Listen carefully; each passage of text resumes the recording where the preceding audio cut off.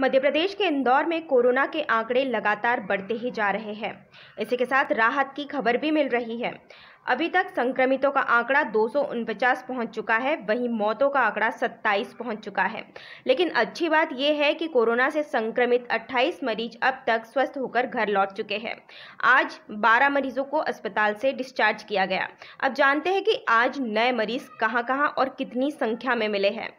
उमेश नगर से आज दो मरीज़ तिलक नगर से दो, नंदन कॉलोनी से एक परदेसीपुरा से एक, स्कीम नंबर सत्तर, गुमास्ता नगर से एक, लालबाग श्रवण कॉलोनी से एक, पुलिस कॉलोनी से एक, इकबाल कॉलोनी से एक, स्वामी दयानंद नगर से एक बिहार कॉलोनी से एक और अहिल्या पलटन से एक मामले की पुष्टि की गई है।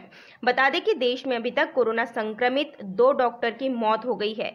ये दोनों डॉक्टर इंदौर के ही हैं। वहीं अरविंदो अस्पताल में भर्ती कोरोना से संक्रमित डॉक्टर आकाश तिवारी पूरी तरह से ठीक होकर घर पहुँच गए हैं। उनका कहना है कि अस्पताल में डॉक्टर और नर्सिंग स्टाफ ने उनका काफ़ी अच्छा ध्यान रखा है। मैं यहाँ के डॉक्टरों का आभारी हूँ कि उन्होंने मुझे ठीक किया। साथ ही मैं भगवान से प्रार्थना करता हूँ कि को ये बीमारी ना हो। बता दें कि देश में लॉकडाउन लगा हुआ है।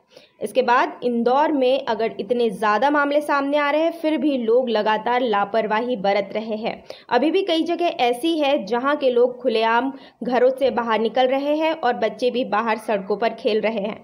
प्रशासन की सख्ती के बावजूद लोग इन नियमों की अनदेखी कर रहे हैं, जिसके कारण कोरोना के मामलों में कमी नहीं आ रही है। इस रिपोर्ट में इतना ही था। ऐसे वीडियोस की जानकारी के लिए बने रहिए न्यूज़ थीन के साथ। Thank you.